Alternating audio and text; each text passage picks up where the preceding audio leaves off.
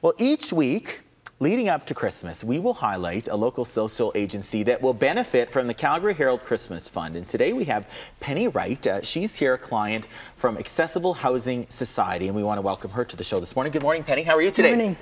Good. Thank you for coming in. Uh, so, Accessible Housing Society of Calgary, it is a group that's going to benefit from Calgarians' generosity uh, as they give to the Calgary Herald Christmas yeah. Fund. Tell us, uh, first of all, how you became involved with the Accessible Housing Society.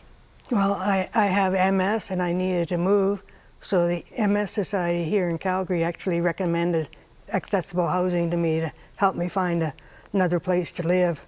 And for you, what would this have meant had, had they not helped you find another place? I don't know. Because I, I, I need uh, something that either has no stairs or has an elevator. And you were at a point in your other housing that, that you just couldn't stay in there yeah. and it wasn't going to do it for you? No.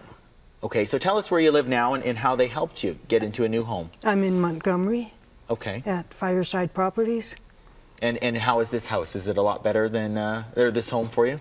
Well, yeah, it's it's on the main floor, so you don't have to worry about stairs or anything, and um, and it's um, ex- uh, wheelchair accessible and everything if I need that. And and right now you're okay uh, without the wheelchair, though. Yeah.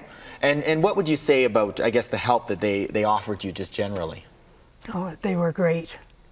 So, yeah, Judith especially was really good helping me out with the stuff, and and so did Connie and, and some of the other people. They were all really helpful. And this allows you to maintain your independence, mm-hmm. and and that's great for your quality of life, I imagine, yeah. right? Well, uh, we want to thank you for coming in today, Penny. We appreciate it. So you can help out uh, different groups uh, like the Accessible Housing Society uh, in Calgary, and you can donate to the Calgary Herald Christmas Fund. You can go to Calgary Herald or ChristmasFund.com. They have all the information there on how to donate. We also have a link on our website at globaltvcalgary.com. Happy holidays and Merry Christmas. Nice yeah, to meet you. To you too. Thank you for coming in this morning, Penny. Thanks.